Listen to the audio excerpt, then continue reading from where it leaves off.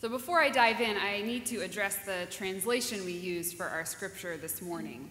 We do typically use the New Revised Standard Version, which is what we heard, and generally it's an excellent translation, but this morning it really falls short with a few disastrous consequences with a few key words. So to set the story straight, verse 7, we heard the Lord God formed man from the dust. But here are the Hebrew words the Lord God formed Adam from Adamah. That's the Hebrew. Adam from Adamah. That alliterative and poetic phrase may better translate as God formed a human from the humus. The point is clearly the relationship of humankind to the soil from which they were created, not the gender of God's creation. Dust to dust. God created humans in the same way and out of the same substance as every other living creature, from bacteria to boulders. And while there is much more to be said about gender in the creation stories, I'll leave that for another Sunday. Today, our question is Where are you from? And we are reminded in this story in Genesis that God created humans in a place, a place that was good and a place that was specific. So we begin our summer sermon series around the theme of I've been meaning to ask questions that build community, invite curiosity, vulnerability, and deep connection.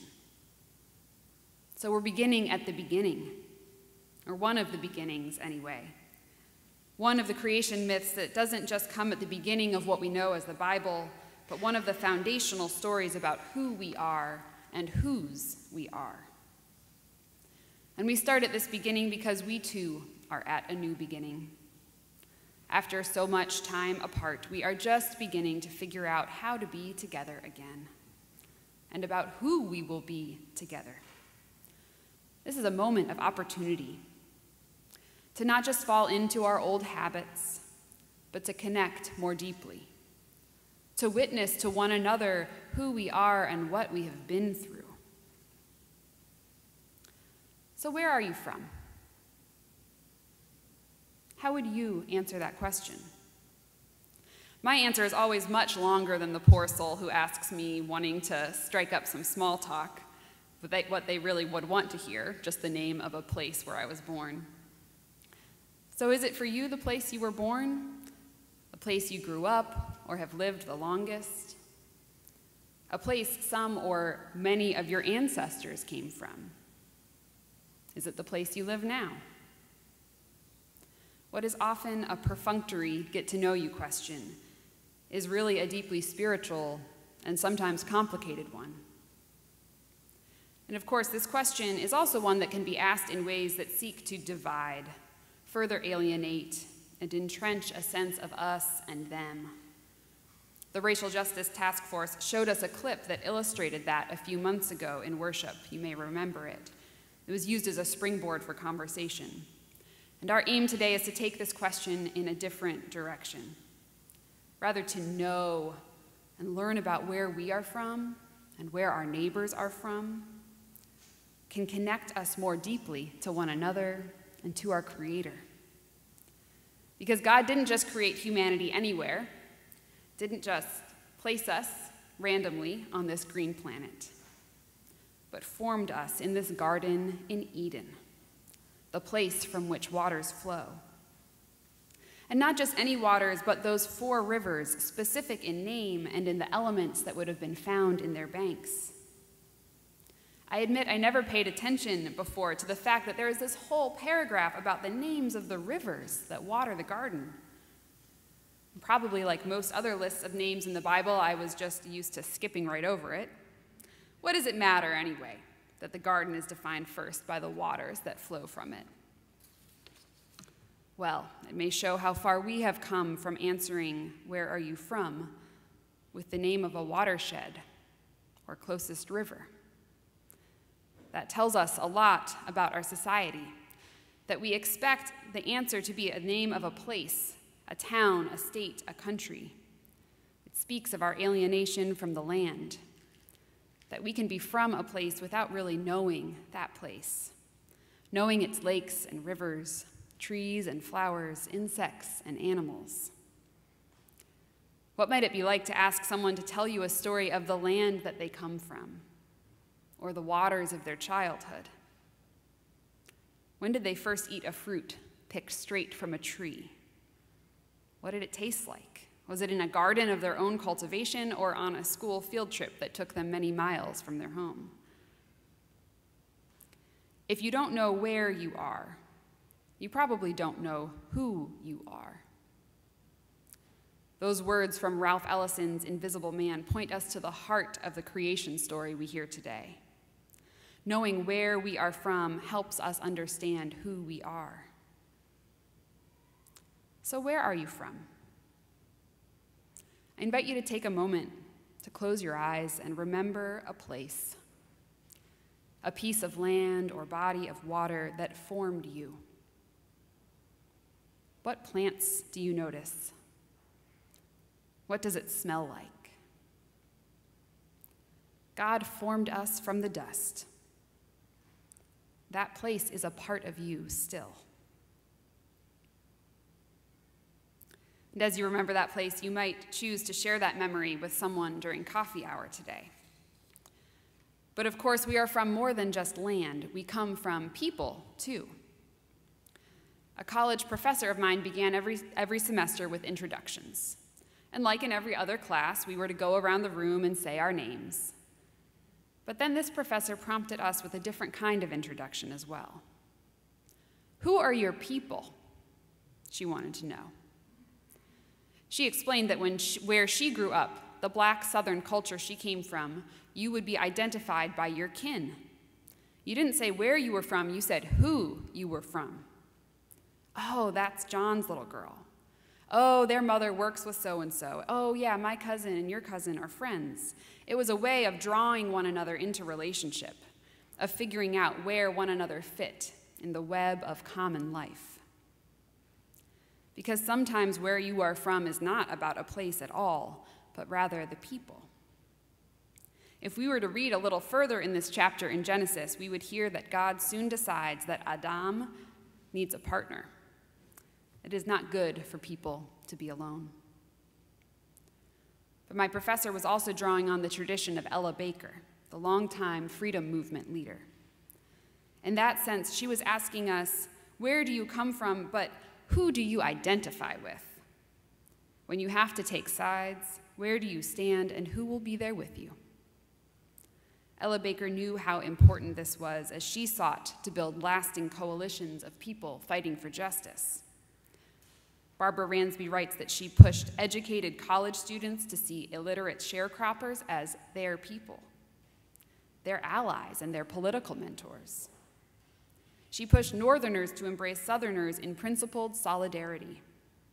She organized back and forth across various color and cultural lines and across generational divides. Understanding who and where we come from helps us see our commonality and mutuality with one another. So I invite you again to close your eyes if you'd like and ask yourself who are your people? Draw them up in your memory so that you can see them in your mind's eye and feel their presence with you this morning. They may be your family of origin or your chosen family.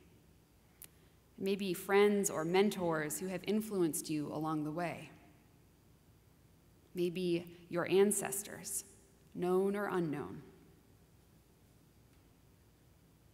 What if we asked one another to tell those stories too? God created humanity out of the dust, in mutual relationship with all of creation, and for relationship with the earth and with one another. I began this sermon with the phrase God created humanity from the humus. And I'll admit I had to look that word up. I'm not much of an ecologist or really even a gardener. But my understanding is that humus is the key ingredient in topsoil. It's a mysterious and hard to define element that is as much a process of decomposition and recreation as it is a substance in and of itself. But most importantly, it is essential to crop cultivation. Soil without humus doesn't support life.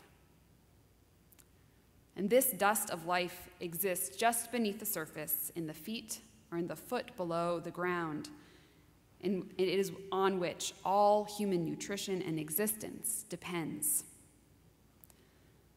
So many of us may be not inclined to take the Bible literally at times, but in this case, the book of Genesis may be quite literal in its description of creation. We, humanity, are indeed formed from the humus. We are still dependent on it millennia later. And of course, symbolically, what is just beneath the surface forms us. It is what we depend on for life. Let us go below the surface of small talk with one another, recalling the people and places we come from, cultivating mutuality with all of creation.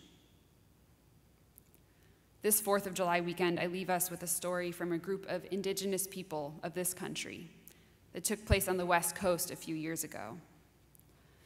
In West Berkeley, California, Ohlone tribal members spoke to their community about a proposal to build condos over a sacred shell mound burial site.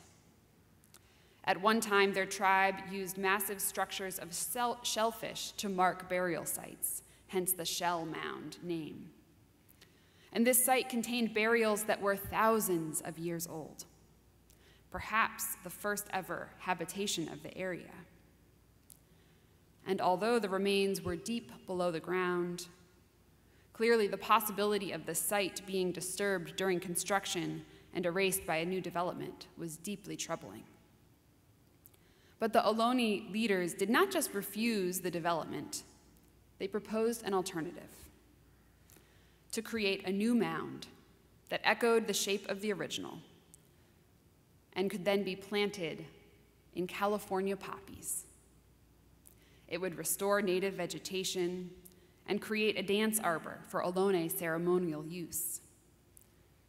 It would essentially turn a piece of currently unused land into a site of both visible meaning and recreation, recreation, for Ohlone tribal members and their neighbors. Corrina Gould, one of the leaders of the project, described it as an opportunity for all of us to remember our compassion, conscience, and civility to learn to be human again together.